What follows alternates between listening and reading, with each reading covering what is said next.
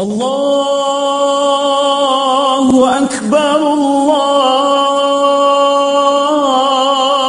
أكبر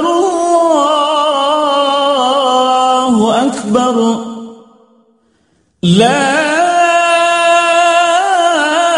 إله إلا الله والله أكبر الله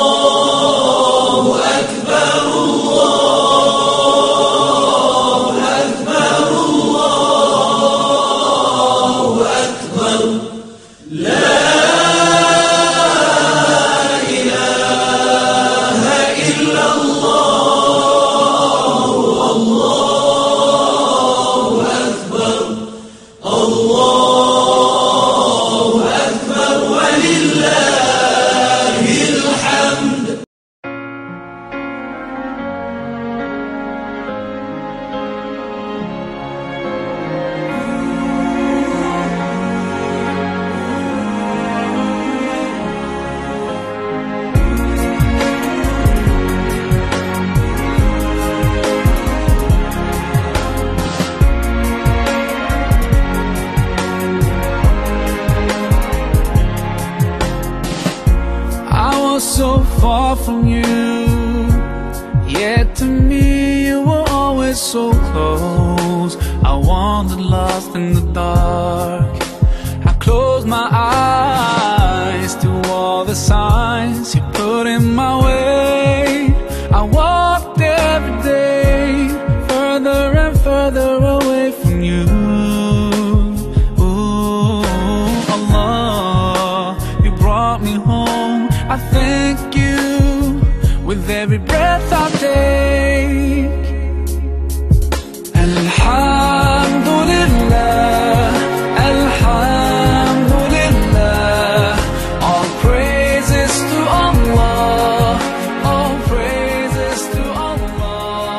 So, Assalamualaikum kak, apa khabar kak? Bagaimana perasaan hari ini lepas kita habiskan uh, korban duha ni? Alhamdulillah, insyaAllah. Kami merasakan pengalaman macam ni yang Dan kita banyak rasa bersyukur ya. bersyukur. Uh, dengan cabaran yang hebat ya. Lepas tertinggal. Wah, wow. Ni. Kak betul betul. Betul. Ya, abang, abang, abang.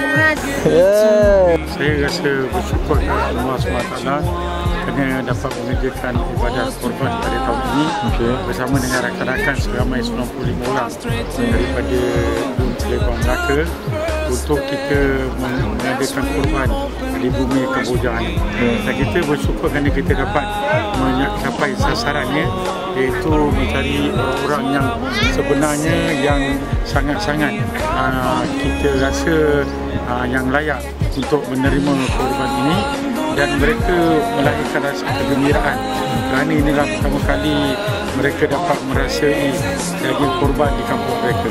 Hmm. Jadi saya sekali lagi mengucapkan terima kasih kepada semua rakan-rakan dan tenaga kerja yang menjayakan uh, jejak senam korban di bumi Kamboja. Alhamdulillah. So akan datang masa yang datang je rasa, rasanya Datuk akan datang perancangan mungkin 3 tahun sekali ke apa dia Datuk rasa macam mana? Sebenarnya kita telah mengadakan korban ni uh, selama tujuh tahun Okey. di luar negara Okey. dan kali ini di Kemboja Okey. dan pada masa yang akan datang mungkin tahun depan kita merancang untuk pergi ke negara Indonesia pula.